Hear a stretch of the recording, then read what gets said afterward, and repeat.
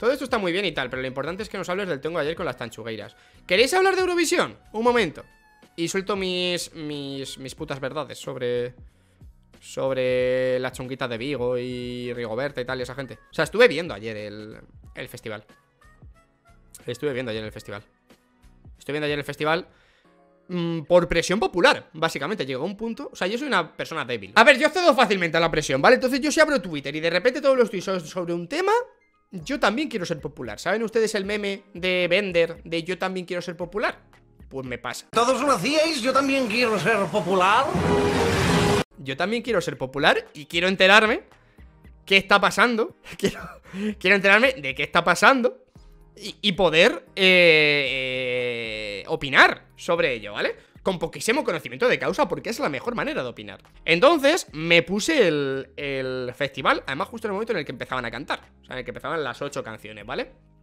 El Raiden y todo eso, iban del 1 al 8, ¿vale? Algunos no se había escuchado en mi vida. De hecho, solamente había escuchado antes la de Rigoberta Bandini, la de la teta gigante, y la de eh, las tanchugueiras y la de la chica que ganó. La de Slow Motion, esta, Slow Esas tres son las únicas que había escuchado, ¿vale? Que además escuchamos aquí en directo un ratito antes porque, mm, pues no sé por qué salió el tema y tal.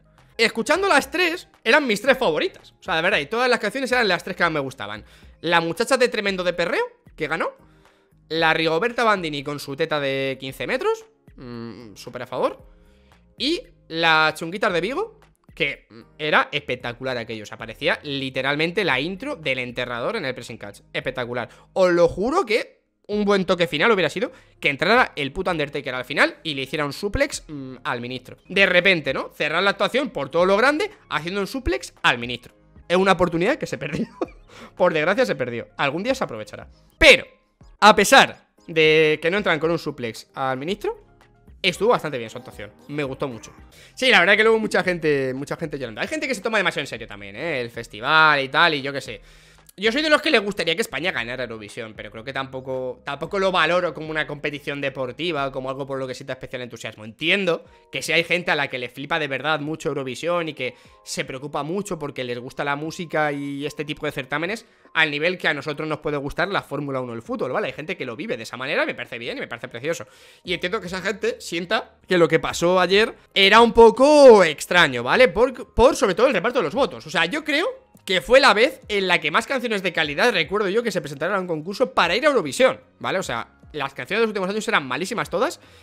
Y con cualquiera de estas tres, con la de la chica que ganó, con las Tanchugueiras o con Rigoberta Bandini, y luego la de Raiden tampoco estaba mal, ya me gustaba un poquito menos tal, con cualquiera creo que vamos a hacer un buen papel en, Eurovisión, creo, ¿eh? Desde mi punto de vista y mis gustos musicales. Luego no sé las tendencias de los eurofans y esa mierda, no tengo ni idea, ¿vale? Evidentemente. No sé qué es el tipo de música que va a hacer a la gente votar por SMS en Macedonia, ¿vale? No tengo ni puta idea. Pero a mí me gusta lo que va y me gustan las dos opciones.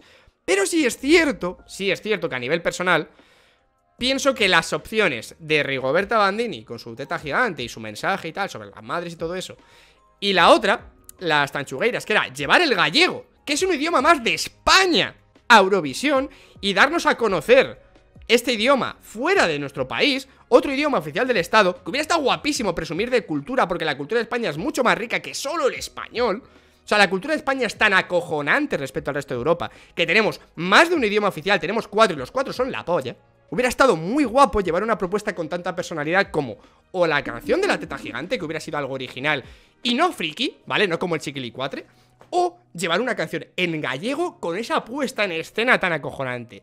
Y sí me da un poquito de pena, sí me da un poquito de pena, que al final de las tres opciones haya ido la más comercial, la más casual, la más normal, la más eh, estándar, la más que podía haber salido de España o de Puerto Rico, que es la canción de la chica de, Chanel, que está muy bien y es una canción espectacular y la puesta en escena es increíble, y la chica una artistaza, pero es verdad que es más genérica y que estoy casi convencido de que va a haber otras 4 o 5 propuestas en el mismo festival iguales que esa. No lo sé, a lo mejor no, pero es la típica propuesta que te puede llevar Macedonia como una chica súper atractiva a hacer una canción muy parecida. Una canción como la de las Tanchugueiras en un idioma eh, minoritario pero oficial del Estado hubiera estado muy bien, hubiera sido un ejemplo de, de expandir nuestra cultura más allá de Europa y hubiera estado eh, y hubiera tenido mucha personalidad y hubiera sido mucho más original. Y al menos por carisma podríamos haber destacado. Y con la canción de Rigoberta opino parecido. Y aquí viene el problema. El problema de todo esto. El problema de todo esto es cómo se hicieron las votaciones. ¿Vale? Las votaciones, más o menos, si no me enteré mal, eran 50% el jurado, 25% el voto demoscópico, que es como un grupo random de 350 personas, si no recuerdo mal, que votaron, y no se sabe quiénes son, claro. Y luego un 25% del público con SMS, ¿vale? Porque estamos en 2007, bienvenidos a los teléfonos polifónicos. La movida es, y aquí yo odio ser conspiranoico, lo odio, sabéis que lo odio, a nada que me congéis sabéis que lo odio, no me gusta nada. Pero huele a chamusquina la puta elección. Huele a chamusquina. ¿Y por qué? Os explico, ¿vale? Insisto, la chica que ha ganado, a tope con ella, me parece un temazo y creo que podemos hacer mejor papel que en los últimos años. No sé si para ganar, pero creo que podemos hacer un papel muy bueno. Pero, el hecho de que en la votación del jurado, que tenía el 50% de los votos, es decir, dieron 51 puntazos, todos esos puntos se fueran a, la, Chanel y las tanchugueiras, las chicas de la puesta en escena, las chicas gallegas, las chicas de la canción, espectacular, parecía la, la, canción de un villano de Disney, os lo juro, era espectacular en puesta en escena, te puede gustar más o menos, pero imponía como ella sola la canción.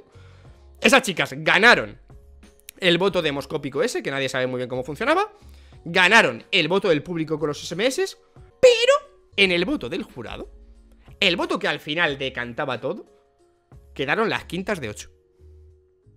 Las quintas de 8. Y le dieron 30 puntos, si no recuerdo mal. Que es lo mismo que le dieron a un pavo con el flequillo para atrás que yo no sabía quién era. Huele un poco a piedra. Huele a que sabían que esa chica no podía ganar, que ese grupo de chicas no podía ganar. Luego aparte está el tema de que se ha dicho que la canción no cumplía los requisitos de las bases, pero esa, esa base yo no las entiendo muy bien, porque dicen que la canción debería tener no sé cuántas letras en español, pero hostia, la canción de las gallegas es íntegramente en gallego, así que supongo que esa norma tendrá muchos más, muchos más matices. Pero, y esto es para mí lo más triste de todo, es que creo que realmente no interesaba desde el Ministerio de Cultura español o algo así, llevar una canción en gallego Eurovisión creo que no interesaba. ¿Por qué?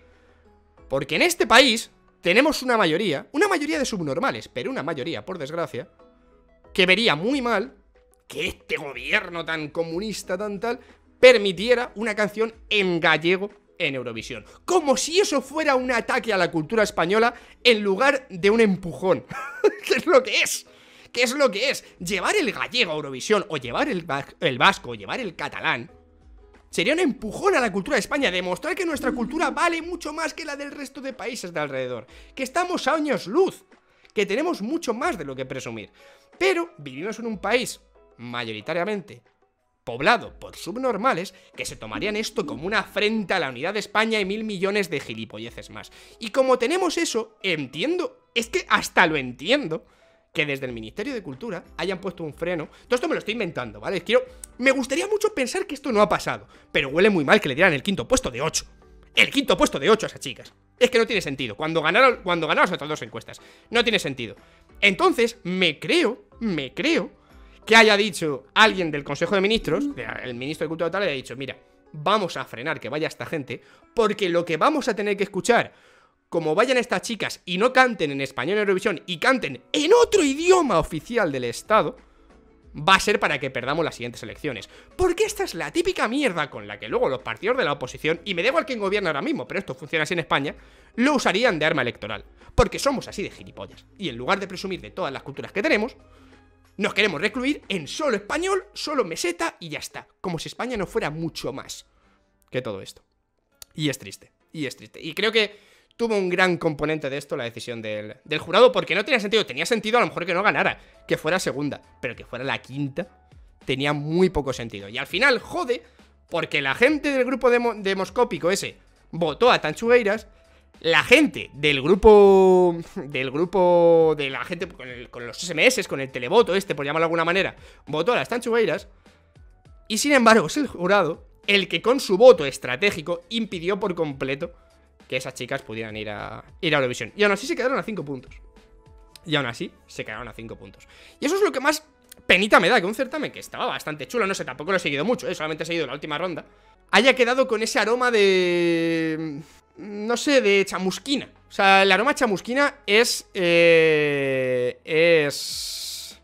Es malo, es malo. No, no me gusta, no me gusta, no me gusta. Y me hubiera gustado mucho ver esa canción o la de Rigoberta Bandini, también me gustó bastante. Pero porque eran, sobre todo, propuestas originales. Es que a mí me mola, tío, que mi canción, que la canción de mi país destaque sobre el resto. Puede gustar más o menos, pero que destaque. Y la de Slowmo, de Chanel, está muy bien, es perreo. eh, Además, es perreo bueno. Me parece perreo bueno, no me parece perreo de, de baja calidad el que está últimamente. Me parece perreo bueno, sinceramente. Pero es muy genérico. Es muy genérico. Podemos ganar, ¿eh? A lo mejor ganamos con eso, porque es súper comercial y es súper mainstream. Pero no tiene ese carisma. ¿Te guste o no? La canción de Rigoberta Bandini, la de. La de las tachugueras. Y si me apura, la del Raiden ese también tenían más personalidad que la de. que la de Chanel. Pero bueno. Luego hay más teorías, que si la canción de Chanel, que si Chanel es amiga de una del jurado, que no sé qué, que la han forzado a que entre, que esta, la producción de la canción de Chanel la había intentado colar RTVE con otra productora para ir a Eurovisión, pero al final la rechazaron o algo así. Huele un poco raro todo, pero vaya, que a partir de ahora, a tope con esta chica, cuando llegue Eurovisión, ¿vale? No sé, no sé ni cuándo es, creo que en mayo. Ahí a tope, ojalá gane, de verdad, ojalá gane, porque es una buena canción. Lo mejor de este año es que, joder, eran tres temazos. Y la de Raiders y Mapuras también me parece un temazo competitivo para, para ir a Eurovisión. Pero son tres temazos.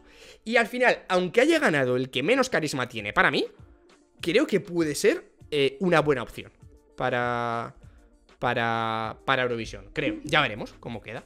Ya veremos, ya veremos, no lo sé. Pero esa es mi opinión. Me hubiera gustado que ganaran las gallegas o Rigoberta Bandini con su teta gigante. Pero, y con los vengamonjas, tío, es que estaba el de los vengamonjas, coño. Es que estaba el de los vengamonjas. Yo me quedé flipando, me dice mi novia, no, es que es el, es que es el marido. Y yo, ¿cómo? Eh, el siglo XXII. Pero bueno, esta es mi opinión sobre, sobre el temita, amigos. Esta es mi opinión.